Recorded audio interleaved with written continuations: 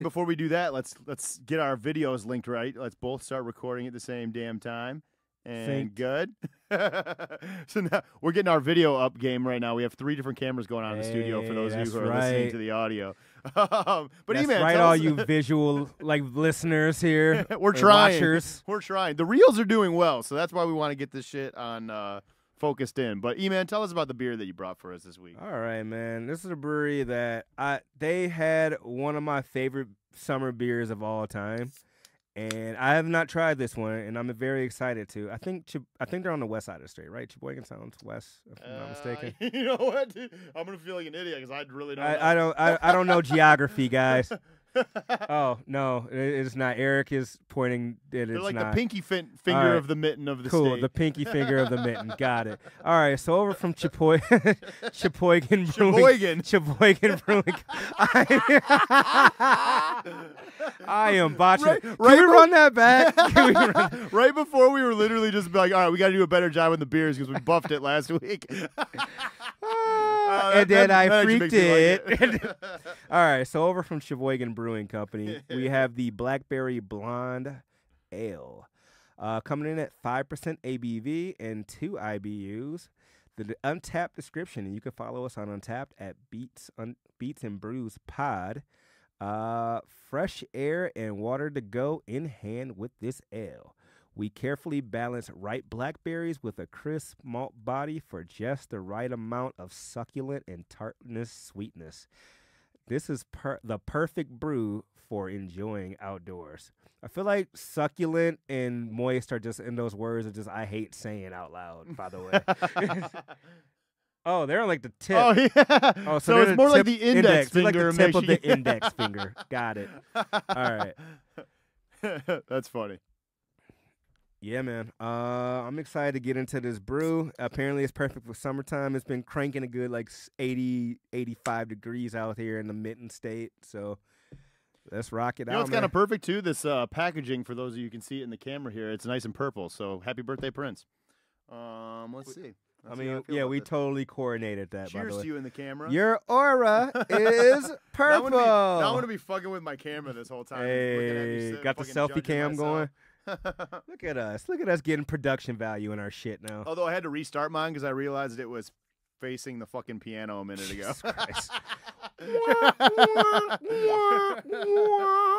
My dad called my phone and it derailed the whole video of it. But anyway, Oh, you gotta turn that bitch on Do Not Disturb, bro. um, but anyways, while we are toasting up these beers, let me pull up my friend Dre Dav, friend of the show. Friend and just in general, the homie. Um, what is the name of his new track that he dropped? E-Man, do you remember? Oh, it's Top Gun. Top Gun's the new one. Or no, that's That's not no, it. that's not it. think. It's Cold Water Mackin, right? Yep, Coldwater Mag. That Coldwater sounds Mackin. right. So, um, as we get a little sip on this local beer, we also want to play you guys a little bit of Dre Dav. So while we do that, um, here you go off his brand brand spanking new single, Cold Water Mackin.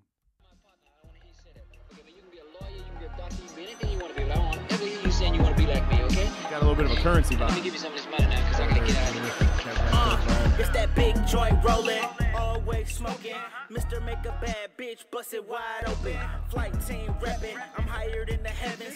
Walk inside the party, turn into the smoking section. Tell these hoes I'm the one, not the two. Girl, you chose me, baby, I ain't choose you. Bitch, I been a max since I hopped out the womb. And you pussy foot niggas couldn't walk in my shoes. Hoes swear to God, I'm the flyest nigga out. Bitches taking selfies, tryna post them for the clout. Keep her ass north and her face to the south. Then this bitch took a pic with my dick in her mouth. Baby, it's the planes and I'm El Capitan. Mile High Club plus one, bring a friend. Mary Jane rolling, yeah, it's potent, take a hit. Girl, I guarantee you never meet another me again. Baby, you ain't never met a motherfucking Mac. Real fly nigga with a pocket full of racks. Weed man, bitch, yeah, I'm really pushing P's. Baby, I'm a genie, you ain't got a friend like me. Bitch, I'm a Mac, got a whole lot of game. Real street nigga, and I'm never gonna change. Bitch, I want money, I don't care about fame. So you just do you while I'm doing my thing. Uh, Coach Dad, baby, I should write a manual. Real P's don't need Kevin Samuels. You niggas is hounding bitches. we could cut it. We could edit right there. That's perfect. beautiful. Oh, I love it. can edit it right Um, there. man, that's definitely a West Coast vibe out of. Um, You can Dre t- on You that can tell one. you've been listening to uh, a lot of lot of currency, yo, definitely. a That's lot of definitely currency, a, a that's little definitely lot of Larry. June-ish, or uh, or Harry Lot of- Fraudish. Harry kind of Fraud, or uh, what's that? Cardo. Mm-hmm. Cardo, yeah, for sure. Yeah, yeah. yeah. Um, no, I like that by Dre Dav. Shout out Dre, man. I really like uh, everything he puts out is dope to me. So You know he's our boy, man. We always gonna we always gonna hook the flight team guys up. Like, yeah. this beer, dude, this beer is weird. Shout This out Arctic Circle Brewing, by the way. You see the nice little cup. ACDC. um, but dude, this is weird. I expected the flavor to be a little bit stronger. It's kind of um a real subtle on the flavor. It's you know what I really mean? high on the carb too. It definitely is. It's that part really I like high about on it. the carb. You know what it actually kind of tastes like? It almost tastes like a seltzer, doesn't it?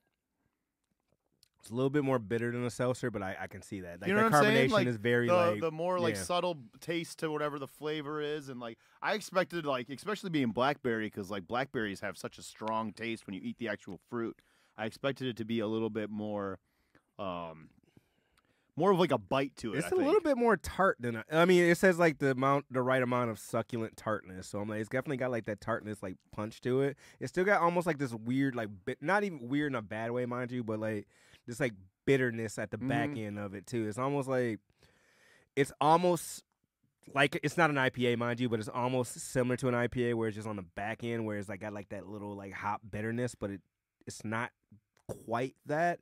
I don't very- know where it comes from. it feels light though like it feels like a like, so in the words of, of my dear friend e-man across from me it feels very crushable to me like i can feel like you could drink this fast It's a crispy boy, a fruity crispy boy. It's Mhm. very, it's got a very good like tropical aroma to it too. Like you can, you can tell it's very like i really like fruit forward in a way. I've no, it's, it sips, is great. really like it is great for summer. Yeah. absolutely correct. Uh, Cheboygan, you guys nailed this you could as far like as like the flavor and what I expected personally. So I feel yeah. like you could almost drink it over ice. I'm not even joking. Like it, it feels more to me like that type of beverage than like a beer beer. I don't know. I wouldn't do that because it would take away from the flavor with the water down Yeah, and stuff like that. Yeah. But yeah, I feel you. yeah, I like that. Shout out Cheboygan. I, I like Cheboygan's uh, artwork too. They do some cool stuff with their. Oh, 20 IBUs, by the way. what It is- says oh, that on the can. Okay, yeah, I'm like yeah. two IB. This tastes way too bitter for two IBUs stuck on the back end. I'm like, all right. Fresh air and water go hand in hand with this ale. We carefully balance ripes of blackberries in a crisp malt body for just the right amount of succulent tartness. I almost said fartness and sweetness. this is a perfect brew for everything That's outdoors. a totally different type of beer. But no, that's that's correct. It says perfect brew for everything outdoors. This is definitely a beer I agree. you I wouldn't bring mow the with camping or something like that. Hell yeah, fuck yeah. Um, yeah, shout out them. But anyways, um, moving forward, I wanted to get into this story about Justin Bieber. It's fucking so bizarre. Did you watch the video? I don't know why I keep snapping like that. I don't know what that is. Huh? Yeah, I hear that little pop too, but No. mm, whatever. All right, know. go back. Let's go to the Beebs. Okay, but anyways, um, yeah. So, did you watch the actual video footage that he put out? All right, so he put out a video, and it's crazy. He literally, so what the syndrome that he came down with is called is Ramsay Hunt syndrome, and basically what that does is it leaves one side of your face paralyzed. So he's talking, he's telling, he's telling, like it's a little Instagram clip that he did. He's telling you what's going on with him, and the left side of his face is moving, but the right isn't. Like he can't blink his right eye, he can't move the right side of his mouth. The whole right side of his face is fucking paralyzed. All right, I got a question. So, what's the difference? And this is me uninformed, completely my ignorant take right here. You, what's the difference between that and cerebral palsy? That's a complete. No, you're thinking Bell's palsy. Bell's palsy. Bell's palsy, Palsy. I think, is caused by like so when like Conway. Conway Yeah, I was, I was about to say Conway, or even Bell's palsy. or even Fifty, because Fifty can't move his mouth a certain way. Both of those So, were yeah. caused by gunshot wounds. So I think that was what led to the paralysis in those guys. And I don't know what causes. but I mean, I guess I could probably just Google it really quick. Why not? Um, let's see. Cause of Bell's palsy. Is it like a blood pressure thing? Maybe like is it like I don't know. Let's see. And I don't know if it's because I, don't know if, if every case that it's like um where it's permanent, like Conway has. The cause of Bell's palsy is on is unknown, but is thought to be caused by inflammation affecting the body's immune system. It's associated with other conditions such as diabetes. Symptoms of facial weakness or paralysis get worse over the first few days and start to improve in about two weeks. So I think there is cases where it can cure itself, and then there's also cases where it's with Conway where it's forever. Yeah. Um, but with Justin's, they said that they think that his is accustomed to, um, you know, overworking himself and not, you know, sleeping properly. And you know, these are things that a lot of artists go through when they're, you know, um, doing shitloads of tour dates like Especially these guys like do. Beebs, who's been around since he was like Massively, you 11. know, yeah. So yeah, that makes sense. Yeah. Uh, prayers. so- oh, Yeah, no. I was just gonna say basically what he said on his thing is my doctors are like, you know, you got to cancel these shows. I got to fucking rest, take care of my eating, take care of my sleeping, and all this and everything. And I was like, damn, dude, that's crazy. So yeah, pr- like like you just how old is how old is Beebs now? I think he's like 28 or something like that. I'm gonna say he's definitely late. might be in Tw- his he's 30s. got to be. li- No, I don't think he's in 30s. I think he's late 20s. Let's see. Let's just do that. It's so nice having a computer back again, dude. Right? like, oh my god. Yeah, welcome to the Club, dude. It feels good. Um, let's see. Justin Bieber, Wikipedia. Let's see what they got him. He's 28. Okay. Yep, born in 1994. Dude, Yeah. I'm not gonna lie. Like, I don't, you know, I still don't like his music all that much, but like, I kind of starting to like him a little bit as a dude. Just as a guy. I don't know. Mm, I've He been seems wor- like- I've been working on that for a couple years. I feel like he's like kind of growing into himself. You know, he's a he- he's he could have been way worse off. I feel like I for how told young I told you that uh, these kids that get and I Yeah. said this like six times on this podcast. sure. These kids that get famous quick don't know how to fucking act because they never had to do normal shit. yeah, that is a fact. That is definitely true. Um, but all right. So, anyways, moving along.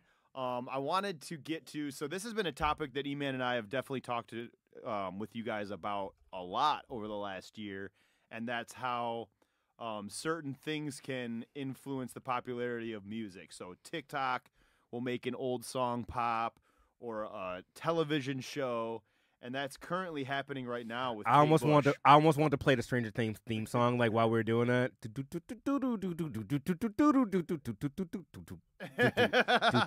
I don't know. That that would probably be our biggest copyright fucking flag. So I'm gonna just do that. Could I, you, you want you think they would copyright if I just like while you're talking like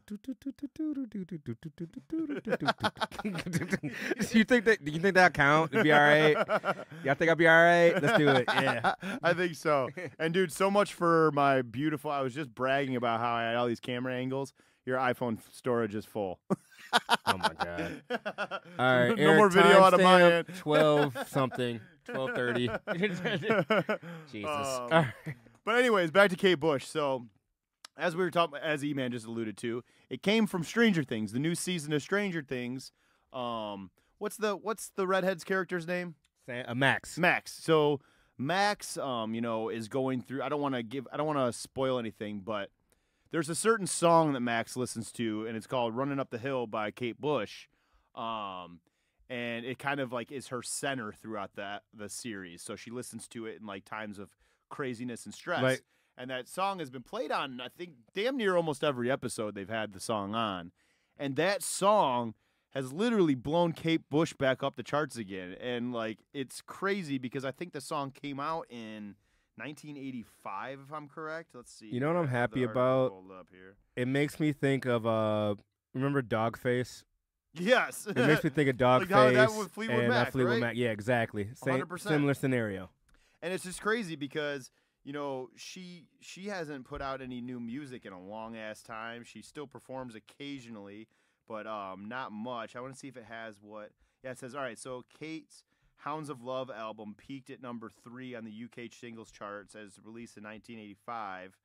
Um, and Kate has previously opened up about the meaning of the lyrics, saying back in 1985, it's about a relationship between a man and a, a woman. They love each other very much, and the power of the relationship is something that gets in the way. It Mm. creates insecurities and saying that the man c- and could be the woman and the woman could be the man if they could just deal with God to change places. Uh, if they could cut a deal with God to change places. Uh, I'm trying to see if it has where the song is at on the chart. Oh wow! So it says the music video of the song became such a huge um, hit on YouTube since the Stranger Things came out that it has spiked 800 percent since since the Netflix show came out. Wow, that's fucking shit. crazy. Good for her, man. Um, and I think it's also funny, and we can also bring that back to hip hop a little bit. Is I didn't, you know, I'm not gonna pretend like I knew a lot of Kate Bush music, but the reason I got put onto Kate Bush some years ago was literally through Big Boi from Outkast. Big Boi has been on record saying that Kate Bush is, um, I think, I think he said it's his very. He's got two favorite artists of all time. I can't remember what the second one was, but he said Kate Bush is one of two of his favorite artists of all time, and uh, which is just so funny because you don't really like necessarily hear her influence in his music, but he's like a super stan. He's always posting about her. He got to record a song with her, and he was like geeking the fuck out on on social media about it. So, um, yeah, shout out Kate Bush. Shout out to Big Boi and Outkast. That's what's up, man. Um, I, I I'm not hip to Kate Bush. I really didn't know who she was until the Stranger Things. It uh, definitely episode. is some 80s. Well, she's actually, a lot of it's super timeless, but that song in particular definitely has that 80s feel for sure. Um, but, anyways, yeah, moving along here. Um, we want to get to, I'll, I'll kick it over to E Man because I know he's probably more, even more excited about it than I am the return of the boys.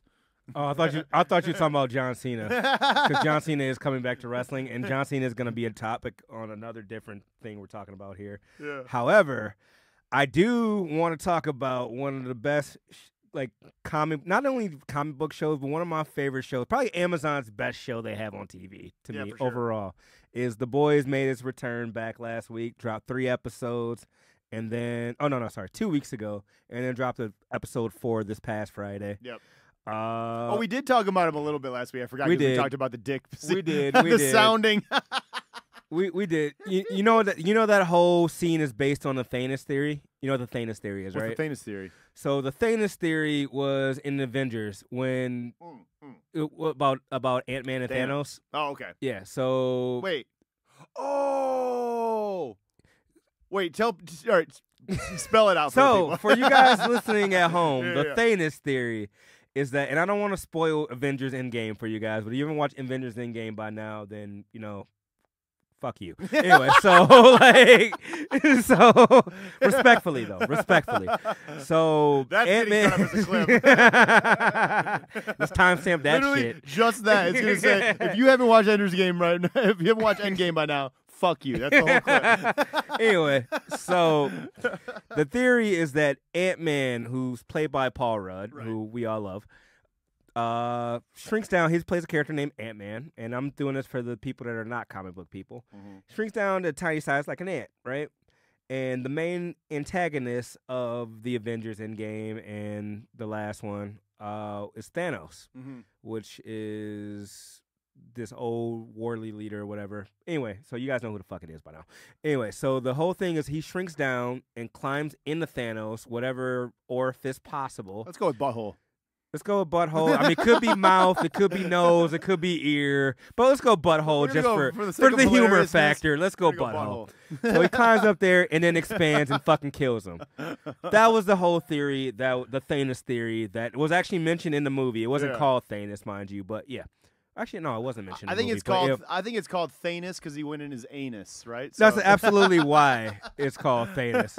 But I mean, there's like other ways to get inside his body, I guess. But anyway, so going back to the boys, uh, let's just say without a spoiler. I mean, I, there's no way not to spoil this. I guess that theory gets tested, as we should say. yeah, for sure. It gets tested the fuck out of, actually. 100%. And you know, what's, you know what's funny is like um, now that you brought that up, the Ant Man thing, I did read that they they think that that was um the Ant Man was in mind when the guy wrote this character because it's called the Termite. the termite, yeah. and you no, know it what I mean? absolutely So was. is, like, no, that was a thing. yeah. Like they, there was articles about that. That was so that was completely based off the Thanos Yeah, theory. yeah, yeah. Mhm. That was because of that. Yep. I saw the meme. It was like the the Dogecoin fucking dog or whatever. Did you did you see this No, meme? no, no. The the actual small Dogecoin dog was uh Avengers, Mhm. and then the big one was the boys. He goes, "What's wrong, King?" He goes, "Marvel didn't want to do the Thanos idea." He goes,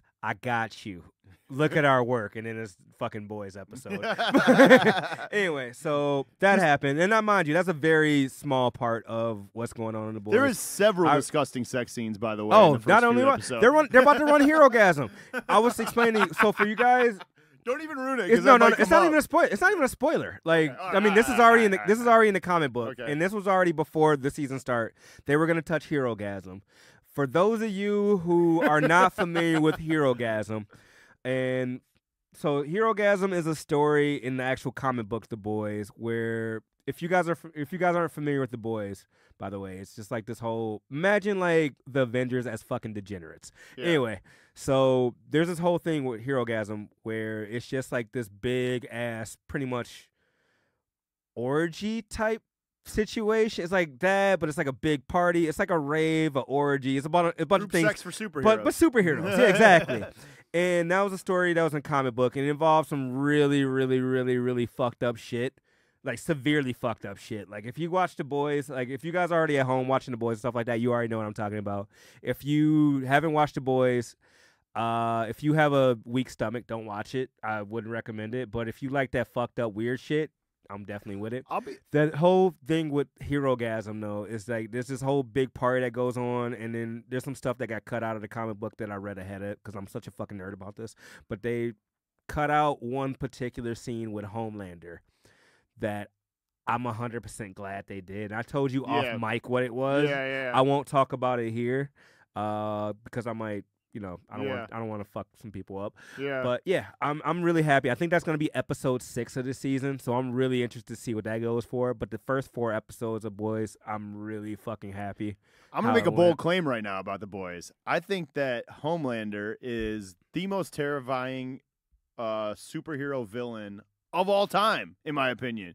Uh, Up to right now, they're so they're trying to explore ways. He's basically so we're kind of getting to a season where they're trying to develop, they're trying to uh, determine if he is or not. But from all other standpoints, he's basically invincible, and he can basically Think of- fucking he's pretty much Superman. and he can he fucking is essentially Superman without the kryptonite. nuke the world with his eyes in the drop of a fucking hat. You know what I mean? Yeah. So, y- y- like, if you're face to face with Homelander, you can even though he's the biggest asshole and piece of shit on the planet. That's you an understatement. You gotta fucking, you gotta bite your tongue. You can't say shit back because he can literally fucking melt your face in two No, seconds. calling Homelander an asshole and piece of shit. Mind you, I was Homelander for Youmacon last year, but like, no, but that's a very big understatement. Like this man has done some of the most fucked up shit I've seen on television. And, and you know Oh, what? So man. What? And what- we sort of mentioned it last week, but what I think is so cool about the boys, and you know, a shout out to whoever wrote the the, the original. So you know, Seth. Rogen produced the show. Yeah, yeah, yeah. but and it's the same guy that wrote the Preacher. Um, you know the, Yeah.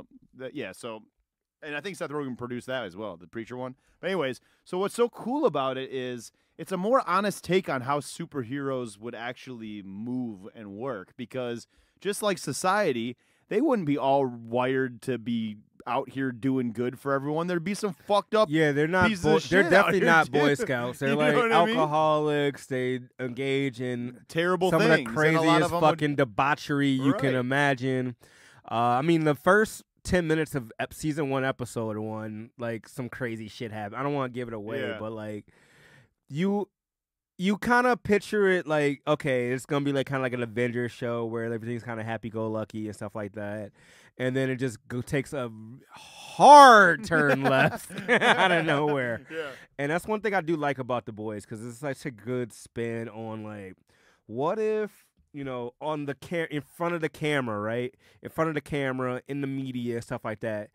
All your famous heroes, like you kind of you that's what you perceive.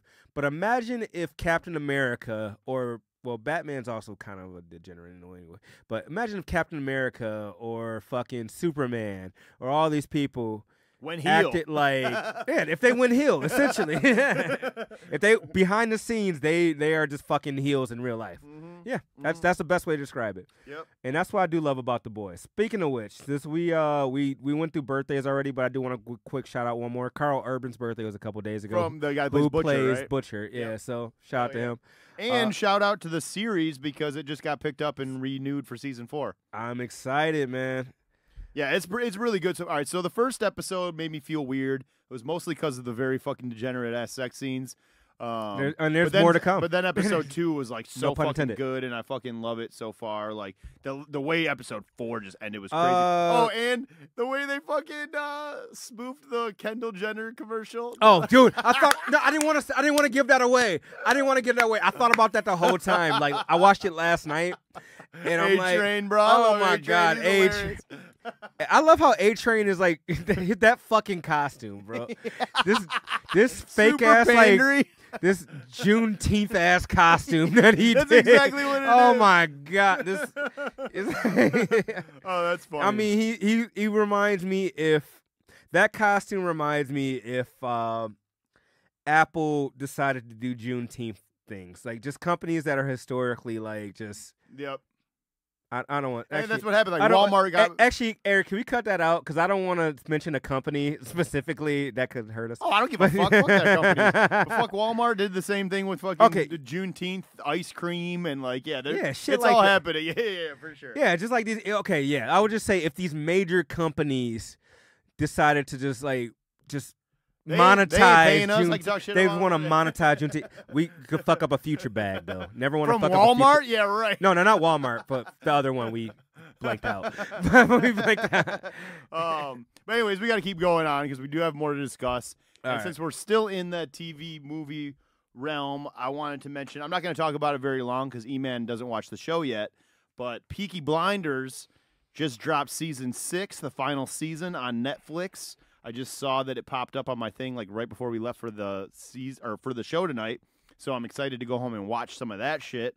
Um, if you're not watching Peaky Blinders, it's so fucking good. Like I, I can't even describe to you how well it's acted and shot and filmed. And I was curious, you know, uh, how they were gonna go about taking on season six because um, the actor Helen McCrory, who was a big part of the show as Aunt Paul, um, passed away after season five of cancer. Um, and so I was really interested to see how they were going to write that back into the series. I did watch the first episode, and it is addressed um, within the first ten minutes of the of the show um, in a pretty fucking crazy way. Like a pre- it starts out with a really um, emotional, intense scene. So if you're not watching Peaky Blinders, I really suggest checking it out. It's very easy to catch up on because I want to say the episodes are not even an hour, and I think they only do like six or seven episodes a season, which is also cool. Like, so normally I I do bitch about like shows that are super short nowadays and how like all these seasons are so much shorter than they used to be. But what's cool about them being six episode seasons is there's no fucking filler episodes. Every episode is like guns blazing, fucking crazy. That's one shit, show I need to really get. I, Cause I, I mean, the period piece shows stuff like that. Like that's one. That's one particular one I've been meaning to get into for a while, and I'm glad that the last season just dropped. So I'm gonna, all right. I'm gonna just go Yeah. through. I'm gonna just one day, one of these days, I'm gonna go through it and just like knock them all out. I'm not sure if the last season is split up like they've been doing a lot of stuff on Netflix lately, so I'll have Stranger to wait till we get there. I did notice that there's six episodes on the sixth season, so may it could be like a you know part one, part two, like all the like like he just mentioned Stranger Things. Um, but we'll have to see. But I am very excited. Uh, one uh, one quick thing I want to do, like mention too. Uh, I want to go back to the boys real quick. uh, go ahead, go ahead. So there was one particular scene. This is not a big spoiler, but like the uh, the CIA agent in there was talking about the. Uh, they were talking about how they were set because they were stationed in where the fuck was it? Uh, in Vietnam, Uh-huh. right? And and they were talking about like trading weapons for cocaine and stuff like that. And then Mother's Milk, who's like one of my favorite characters on on the boys, he goes, "Were you a part of that other Which thing?" one's Mother's Milk? the big ass black dude. That's a part of uh Butcher's crew. Oh, oh yeah, yeah. Yeah, that's Mother's Milk. Oh, okay, okay. Yeah. I didn't know that was his name. Yeah, Mother's Milk. I forgot his actual name, but they call him Mother's Milk. Okay. That's like All his right, for nickname. sure. Anyway, so Mother's Milk, he goes, Were you a part of that other thing?